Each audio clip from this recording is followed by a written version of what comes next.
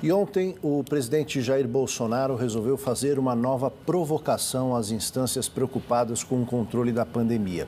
Com 482 mil brasileiros mortos e outros 17 milhões de doentes pela Covid-19, sem falar em apenas 11% dos vacinados, a autoridade máxima da nação contraria toda a razão, constatações científicas e boas práticas reconhecidas pelo mundo ao dizer a seu ministro da Saúde que revogue a obrigação de máscaras para quem quem já foi vacinado ou já se recuperou da doença. A declaração do presidente foi dada durante um evento no Palácio do Planalto. Olha a matéria para a imprensa amanhã. Vou dar a matéria para vocês aqui. Acabei de conversar com um tal de Queiroga, não sei se vocês sabem quem é, né? nosso ministro da Saúde.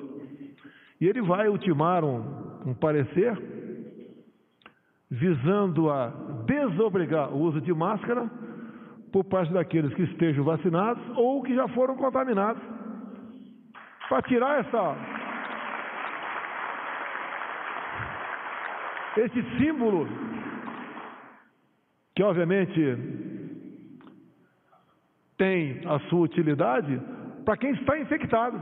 Num vídeo publicado na rede social oficial do Ministério da Saúde, Marcelo Queiroga afirma que há um estudo sendo feito pela pasta para avaliar a viabilidade do pedido de Bolsonaro. O presidente acompanha o cenário internacional, vê que em outros países onde a campanha de vacinação já avançou, é, as pessoas já estão flexibilizando o uso das máscaras. O presidente me pediu que fizesse é, um estudo para avaliar a situação aqui no Brasil.